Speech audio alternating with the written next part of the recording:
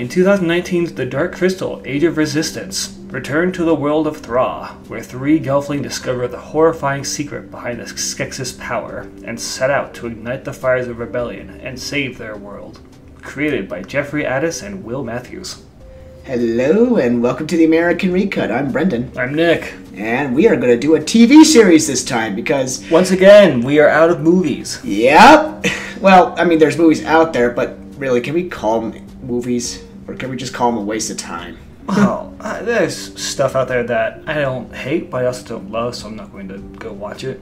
Yeah. Uh, but anyways, uh, as always, the American Recut is a spoiler-free o- overview of any given media that we are interested in before we get to our ramble on, which is much more spoiler-ridden.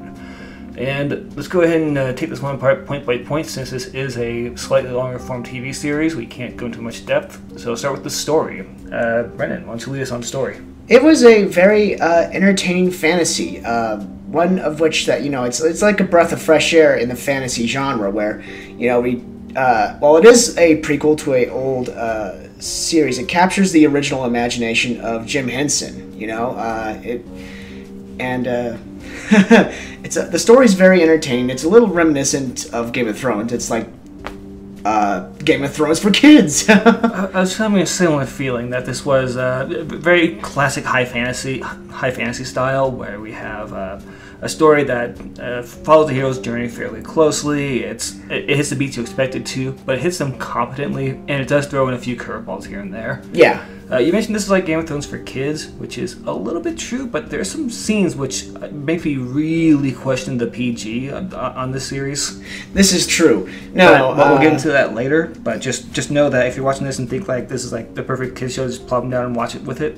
Probably want to be there with them because there are some scenes that are really surprisingly intense. Yeah, no, thank you for stopping me. That is a very good point. But let's get into uh, characters. Uh, I, I found the characters in this absolutely wonderful. I agree. Uh, they're all there's a plethora of characters, uh, and they're all each in their own right uh, very good, and they have they're backed by a marvelous voice cast. And yeah, well, once again, classic fantasy. We have a ton of supporting cast. We have a lot of very interesting cultures at play. We have a lot of good world building happening. Yeah. Characters all have their own motivations. They have their own their own events, and this is a story that kind of captures both uh, the uh, the planning style of writing and the pants style of writing, where you have the characters leading the way through the story, but you also have an experienced hand that's guiding the story where it needs to go to hit the satisfying points in needs to hit. I agree. No, very well executed story writing. Um, and like you said, great world building. Even though this is a prequel, there's a, a lot more elaboration into this world than there was in the original film. Uh, and it's it's it's marvelous. All right. Uh, next up, effects. Let's talk about the elephant in the room, the puppets. yep. I think that with the puppets, there are times where it undercuts some of the tension of a scene or the drama. Like, like whenever you see a, the see a, one of the Gelfling uh, having to run away from a situation or running into combat, and you see like the very quick shot of their feet, just like these these little tiny baby feet just swinging back and forth. It, Right. it, it can kind of kill attention, but it can also be really a, a, a nice, well placed, light joke at times. yeah.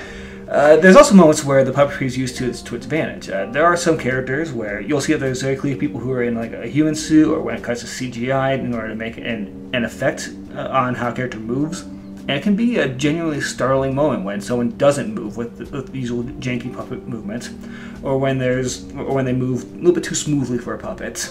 Right, right. Um, and by the way, speaking of puppets, it's kind of nice to, to see puppetry back in action. You know, I mean, it's something we haven't seen in a long time. We are all so accustomed to seeing uh, a whole bunch of CGI. Uh, and well, like Nick said, this style of puppetry could be a little childish and can kind of kill the mood a little bit, the serious tone in it. Um, it's still uh, a welcome change of pace in our media diet. And then, as far as backgrounds go and the uh, the occasional landscape shots, they Oh are actually extremely impressive. Very. Uh, th- there's something about the way that these sets are built and the way that they're used. Uh, there's, there's one scene that's used a lot in the trailers where you see um, one of the Gelfling uh, r- run away out of a window, jump out, and jump jump down, slide off a thing. This is all one long tracking shot, which makes me wonder if this was a full set that was built with this in mind, or if this was a, uh, a seamless switch into CG. Uh, either way, though, there are some really impressive sets that, that are built for this. I agree. That is one of the most impressive parts of this whole show is the sets. I agree. So surreal. Um, Uh, finally, themes. uh, There's some themes that are explored here and there. There's uh, there's a lot of standard fantasy uh, themes. There's themes about family, about what the right thing to do is, uh, Right. The, the the nature of war, um, the nature of power. right. Uh, very, uh, like Nick said, uh, very fantasy esque. Uh, typical coming of age uh, protagonists. Uh, I don't, I don't know if they are though, because there's three different protagonists that, that show up in this. there are, there are, and they're all growing in their own way. You know, um, one's going off into the new world. One's, you know, they're all leaving their homes in some form or fashion, learning uh, more about the outside world and its cruelties, breaking their shell.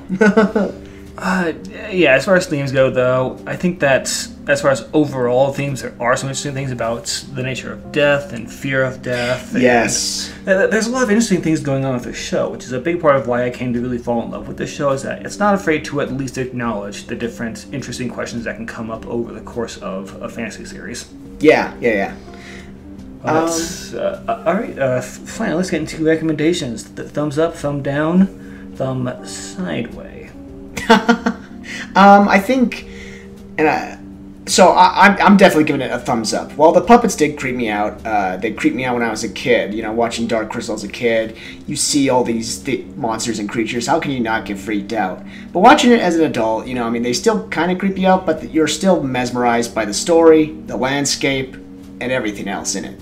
So, resounding thumbs up for me. Yep, I absolutely recommend this as well. Uh, it's got it has a fascinating world that it builds. It goes into uh, some very interesting story. It goes into some twists which genuinely are unexpected, and it can get into places that are really dark when, when you get down to it. Yeah. Uh, the puppetry is used generally to good effect. There are times where it gets in the way, but not enough to really kill interest in the show. And the world feels like it's had enough pre-planning and forethought into how the world works that it feels like a genuinely interesting place to spend time and i look forward to further seasons if they get them If they get them, I I'm iffy on this on a prospect of a second season, but we'll get that into that later. they, they ended on a pretty hard cliffhanger but anyways Yeah, well, they did, but yeah, we'll get into that in the ramble on, which uh, we'll see you then, folks. see you in a ramble